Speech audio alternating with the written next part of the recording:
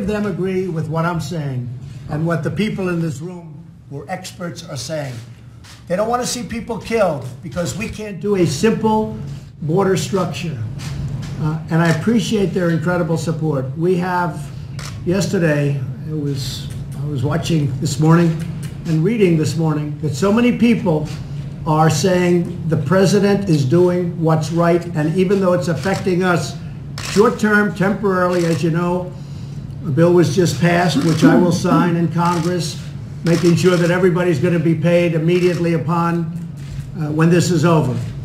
Uh, but I just really appreciate the fact that uh, they, they have handled it so incredibly well. And many of them agree with what we're doing.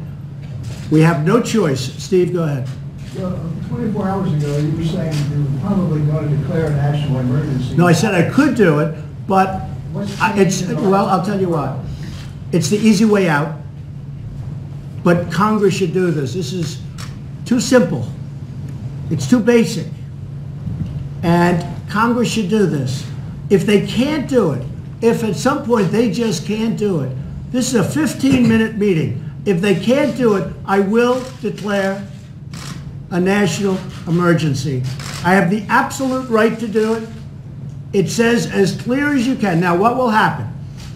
I'll be sued. It'll be brought to the Ninth Circuit. And maybe even though the wording is unambiguous, just like with the travel ban, it'll be appealed to the Ninth Circuit, and we'll probably lose there too, and then hopefully we'll win in the Supreme Court.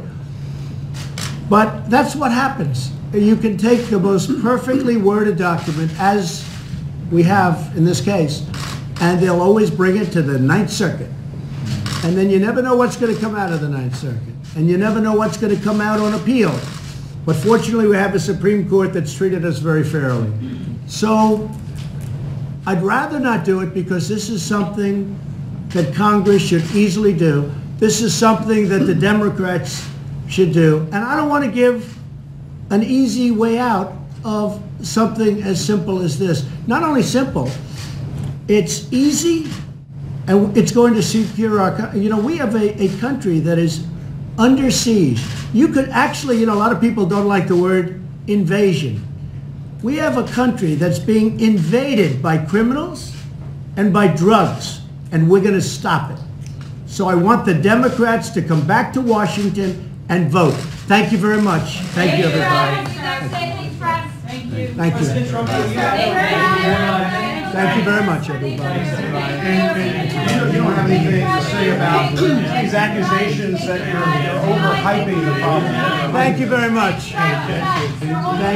Good job yesterday. I appreciate your sales. I appreciate your sales. I didn't see an invasion at the border. Oh, you didn't? I know. That's because we had a wall. Actually, there are, there are portions that didn't have a wall. Some people are dumb. Thank you. Good promotion for us. It was a great promotion. Did you see that, Leslie? Thanks, everybody.